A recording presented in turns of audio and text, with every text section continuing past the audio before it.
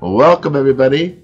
Today I'm going to be doing my three genetic tests, my DNA tests. I'm going to talk about them and see what you guys think, and uh, let you in on a little secret about a mistake I made uh, that you shouldn't make yourself. Anyway, uh, the first one we're going to talk about is the first one I took, which is the National Geographic Geno- Genome Project number 2.0 and that I took in uh, oh, a couple years ago now.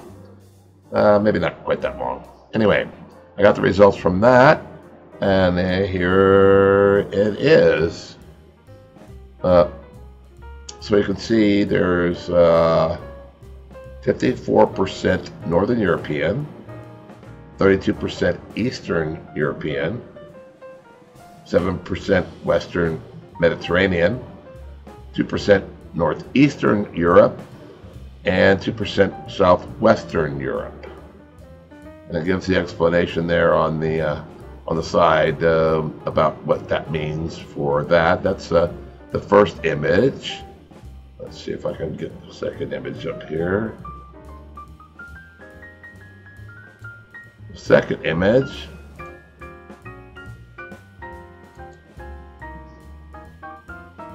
gives a breakdown of uh, my reference populations.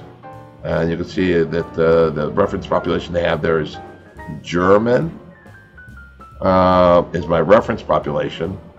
Um, and you can see how closely related it is to the one that I have as my main um, Northern European ancestry there. Um, what's interesting is uh, my family, uh, we had uh, thought that we had some Jewish um, uh, ancestry, and uh, from what I can tell, we don't. But the population does have a, um, a percentage of Northern Europeans that are Jewish diaspora, and you can see we've got some Northern Europeans, but we don't have any uh, any Jewish ancestry as, as, far as I can tell, at least so. Now, with this, you wouldn't know that.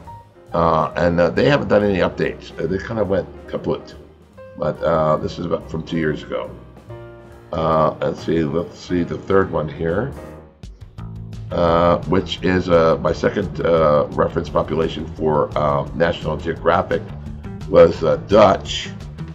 And you can see how um, the Dutch, I think, tend to be more um, like the Swedish and the uh, that the other um, the top end of the northwestern Europe. And uh, so my basic reference population for National Geographic was uh, German, and it seemed to be uh, pretty accurate at the time. Uh, the next test that I took was interesting uh, because, oh, in the National Geographic too, of course, they had the deep ancestry, which I didn't get from uh, Ancestry.com. Uh, and that was, uh, you can see they've got the maternal line with my haplogroups and the paternal line. Uh, and uh, uh, for any any person that knows anything about genealogy and, and the genome itself, these are important groups of how they determine where you where your family is pretty much uh, your, your past genetic information comes from this. So uh, you can see these um, these haplogroups are important, uh, and it takes a lot of trying to figure out what that means. But and I don't have the wherewithal to, to deal with it right now. But uh, if you're interested, that's that. And let me see. It seems like there was something else here. Oh yes. Uh, the most important thing, of course, at the time was whether or not you had, and I don't see it. Did I not? Oh, yes, there we go. The percentage of Neanderthal. That's your. And you can see I'm 1.5% Neanderthal. Uh, the average, I guess, is 2.1. So I'm less uh, less Neanderthal than uh, the average, and I guess in the in the Northern European population, it's pretty common. It almost always uh, you have somebody there. And with African populations, current, uh, it's it's almost uh, never there. So, um, uh, and it can range from anywhere from zero to um, five percent, I guess, in some of the populations in Northern European. Okay. Now the next test I took was the ancestry DNA, and you can see ancestry uh, came up with relatively the same information. Uh, England, Northern European, Germanic, which is you know that's the continent uh, that's a Franco-German area. Uh, Norway, Sweden. Again, no, uh, no Native American, which uh, my family always had that folklore. You know, Native American. Uh, that we are partly Native American and, and Jewish, and we don't have any of that. Um, the breakdown with Ancestry is a lot deeper than with um, uh, National Geographic, and you can see they give you a breakdown of, um, and, and, you notice here the Franco-English, uh, Norman kind of a conquest era, uh, 50 percent. That's that's uh, and the the highlight, the, the lighter the color, the more likely I'm from that area recently. So you see there's Denmark, and then uh, the the next uh, slide here is uh, the third. I guess my 24% uh, Germanic European. So, and you see the lighter the color, the more likely that's the area uh, that is predominantly part of it. But you can see the information that it gives there is it gives you a range from 22% to 54%. And um, uh, so basically, uh, you know, you can't say, oh, yes, I am, uh, you know, from that specific area in Germany or that specific area in England.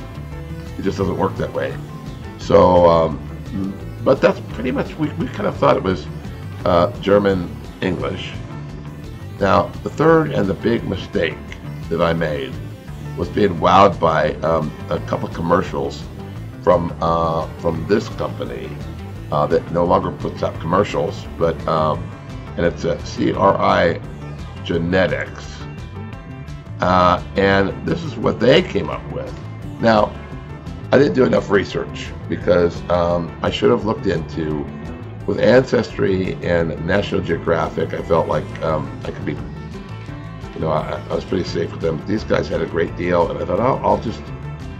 And uh, they talked about their algorithms and uh, all these kinds of. Uh, and look what they came up with. They, they came up with. Now I called, I've called and I've emailed and. Um, tried to talk to these people about like their um, what's the number of, people that they've tested, and uh, they they just won't tell you. So um, and when I when it, when you call, you talk to basically a guy that's making minimum wage, and uh, he knows nothing. He's got a script in front of him, and uh, they don't have any idea about the reference population at all. So, um, and the emails that I sent, I've gotten nothing. So, but uh, if you look here, uh, it gives gives my European ancestry, which is 100%, which is great. I mean that that you know that that's fine, but they're they may have. Now, now look at this one. This is this is what's really amazing. When when they start breaking it down using their algorithms, as the guy was trying to tell me something about algorithms I, I, I become, uh, all of a sudden I've got mixed American in there. All of a sudden I've got Native American. South Asian, uh, East Asian, and uh, a very small percentage of, of African. Look at this. They somehow are able, with their amazing technology, to break it down really specific. And I think I tried to explain to the person or from what my understanding is, um, I mean, it's kind of like alchemy, I think, for them. they basically there there was a point that uh, told me that I had on their site an ancestor that they could about 500 years after um, um, of the Common Era from Colombia, and I said it's on their site, and that's when I thought, well, I got a call about this because and obviously, uh, I mean, they're making some sort of a, I don't know what their science is behind it because I couldn't find any any white paper online, and nobody seems to know when you call them. They just they just tell you what you can find online, which is like reading it verbatim. And so now, what I need to know is um, I want to get another test done just to, to see what happens, and uh, maybe 23andMe. I don't I don't know, but um, we'll we'll see. Uh, uh, my nephew, I, I bought him a test, and we'll see what he uh, what he comes up with. Uh, uh, you know, which will be he's one removed from me, obviously, but uh, so he's got his, he'll have his uh, some of his father's, well, some of, well, maybe, maybe uh, some of his father's DNA there. I don't know. I trust my sister, but you never know. So uh, until next time, I hope I, I hope somebody will uh, uh, check this out and uh, and uh, respond. Did I make any sense at all? At least you got to see some of my what my what I'm made of. White as the driven snow. Have a good day.